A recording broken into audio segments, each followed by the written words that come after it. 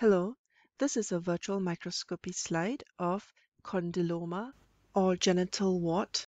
And this is the normal epidermis, the dermis, and then the subcutis, and of course this very abnormal area where we can see the lesional tissue protruding from the skin. This is the area of the condyloma or the wart. Let's have a very quick look at the uninvolved epidermis and we can see that this is stratified squamous epithelium, where the cells at the base have higher NC ratios, and then there's maturation towards the surface, where the cells have lower NC ratios or more cytoplasm, and then there is a surface layer of keratinization. In this abnormal area, we see many of these finger-like projections. These are papillae, so we have papillomatosis or many papillae, and each papilla is composed of a fibrovascular core covered by epithelium.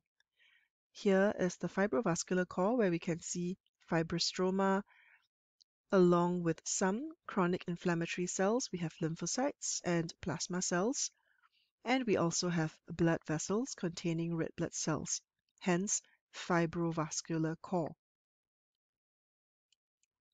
This in turn is covered by stratified squamous epithelium, which shows some abnormal features.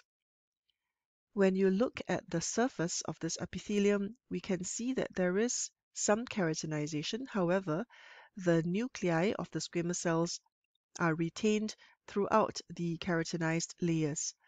This is known as parakeratosis, and this can be a feature of condyloma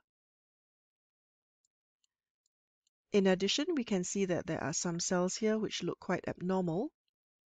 On higher magnification, we can see that the nuclei of these cells are somewhat enlarged. They have very irregular nuclear membranes. Here we can see this indentation. And they look kind of wrinkled or a bit like raisins or raisinoid. In addition, we also see very strikingly that there are these clear spaces or empty looking spaces around the nuclei and these are known as perinuclear halos. The combination of these nuclear abnormalities with the halos is known as koilocytic change or koilocytic atypia or koilocytosis. And koilocytic atypia is quite classical in human papillomavirus infections. So condylomas in the genital region they tend to be sexually transmitted and are associated with HPV or human papillomavirus infection. Here again, we can see koilocytic change or koilocytic atypia. And you will notice that the koilocytic atypia is more prominent close to the surface of the epithelium in the lesional area. Let's learn a bit more about condyloma. Condyloma, also known as condyloma acuminatum or wart, in this instance genital warts, they are tumor-like growths on the penis or genital regions and they are associated, as mentioned, with HPV infection.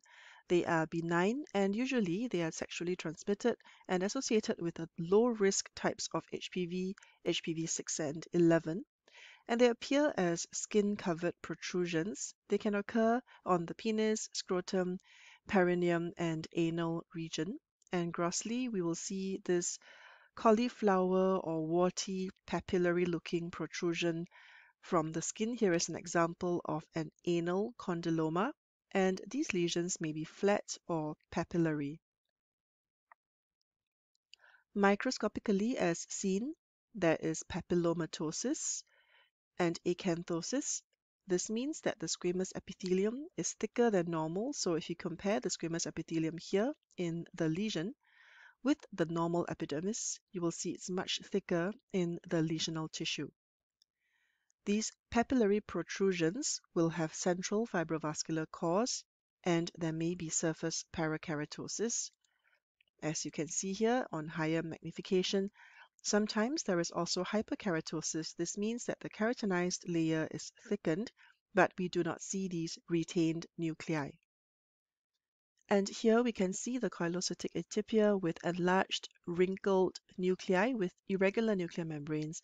surrounded by this clear perinuclear halo.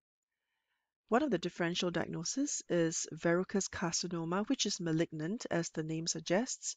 This tumor has a pushing, broad, invasive front, and on microscopy, it does not show this koilocytic atypia, and HPV in situ hybridization is negative. However, grossly, it can appear quite similar with a cauliflower-like mass. Here are some examples of annotated microscopic pictures, and these can be found in our free online resource PathWeb. You can find the registration link in the video description and you can register for free. In summary, this is a condyloma or a viral wart which can occur in the skin as well as in the anogenital region. And what we see is a warty growth. Microscopically, there is papillomatosis. There is acanthosis or thickening of the squamous epithelium. There may be parakeratosis, as we see here, or hyperkeratosis that we do not see here. And in addition, there is koilocytic atypia. Condylomas are benign lesions and are associated with HPV infection. Thank you.